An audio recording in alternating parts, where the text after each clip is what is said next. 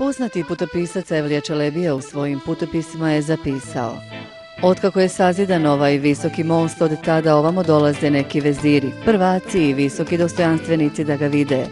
I sjedeći na čardaku nad mostom, oni promatraju kako mnoga smiona djeca šehera stoje spremno na ivici mosta.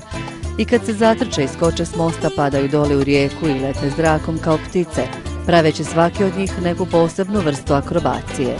Jedni skaču strmoglav, sjedeći ala turka, a neki opet skaču udvoje, utroje i odmah sretno izlaze na obalu uspinjući se uza stijene i dolaze gore na kraj mosta i primaju darove, vezira i prvaka.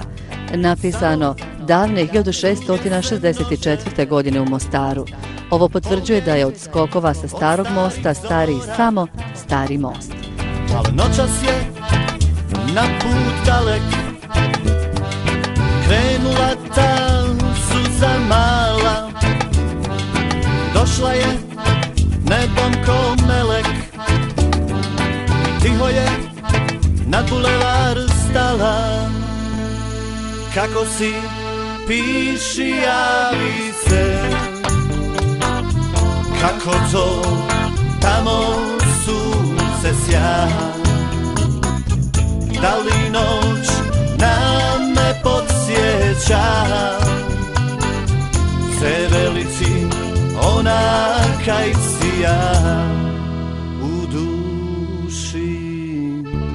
pod kojom si mene voljela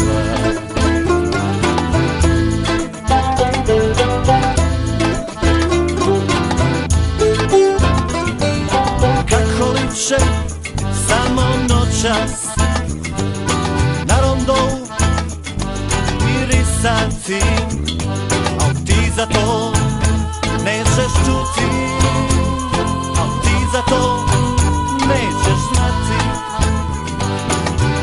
meni radovolja Svu noć našu pjesmu tkati Al ti za to nećeš čuti Al ti za to nećeš znati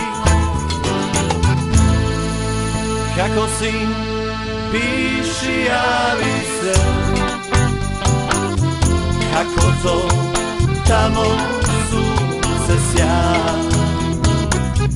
Daliną name podsjecza Zebeli si ona kaj si ja U duši pod kojom si mene voljela